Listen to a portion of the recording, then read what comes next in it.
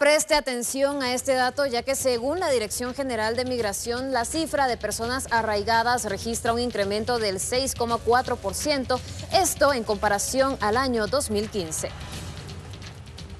Si desea salir del país por vía aérea, terrestre o marítima y disfrutar de las fiestas de fin de año en otro país, pero al llegar a la estación correspondiente es notificado para no hacerlo, no se asuste, quizás es parte de las 28.482 personas que tienen una orden de arraigo.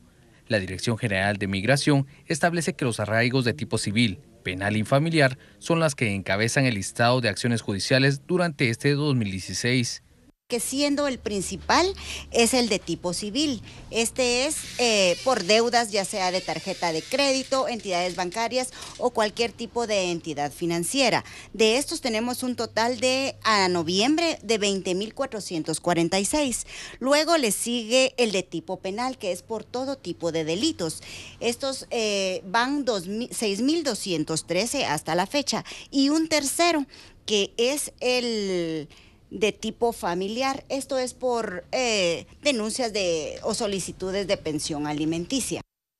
Si usted presenta arraigo, lo que tiene que hacer es solicitar una certificación en migración, la cual le especificará por qué se le niega el permiso de salir del país.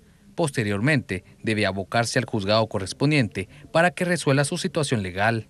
Por eso es muy importante que si los guatemaltecos desean viajar, previo a esto, eh, se aproximen a nuestras instalaciones de la Dirección General de Migración al cuarto nivel para que ellos puedan corroborar si tienen o no algún tipo de arraigo.